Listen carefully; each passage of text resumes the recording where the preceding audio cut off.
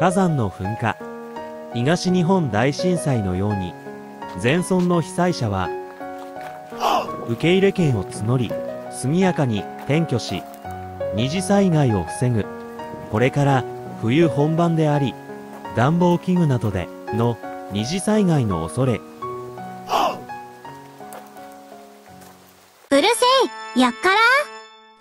宝ぼっちなのよ。ダボさんの独り言。今回は被被災地から離れる勇気も必要です。冬本番で降雪の恐れの高い中避難所風呂の提供ライフラインの復旧もままならない中での避難所での生活は非常に辛いものがある。家の全村で仮設住宅ができるまで被災地にいるのは無理があると思います。家屋の損壊認定を優先し受け入れ権を募り速やかに仮移住させた方が被災者の体の負担が少なくて済むと思うのだがどうだろう？まもう指示が出て受け入れ権が名乗りを上げているかもしれないが大震災を経験した者としてはライフラインが1日でも途絶えると非常に不安になるものである。まして携帯電話もつながらないのは被災情報もわからないわけで決断できずずるずる時間が経ち避難所ごとの二次災害の恐れもあるわけで学校が始まったって授業が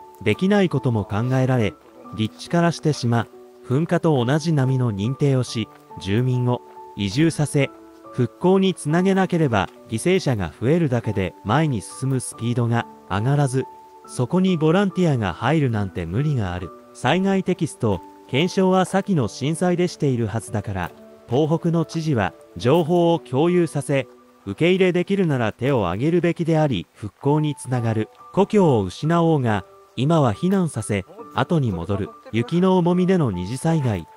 落雪降雪での二次災害余震もでかいのが来るかもしれないダボさんの独り言、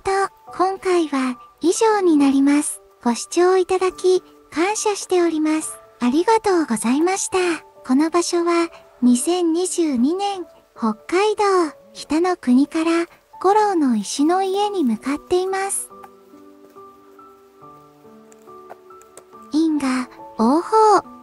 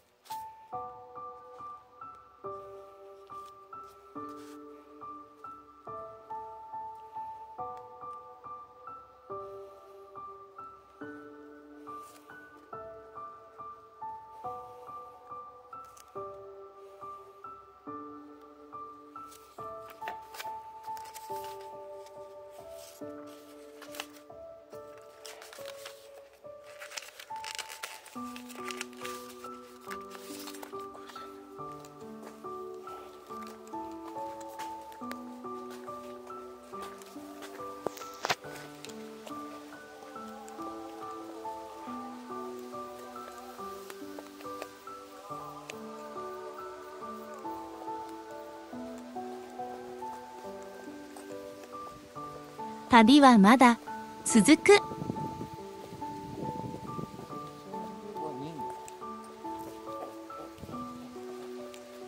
こ